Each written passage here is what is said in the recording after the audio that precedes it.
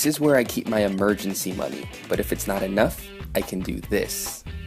See the dollar bill, even though it's behind the walls of the clear case, if I just cover it for one second, you'll see that $1 bill change to a $5 bill.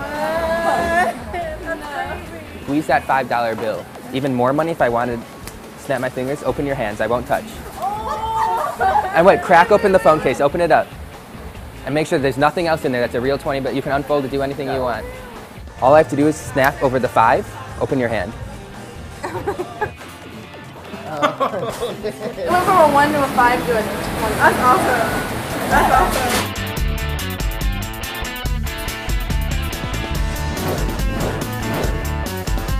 The instant the change happens, you're done.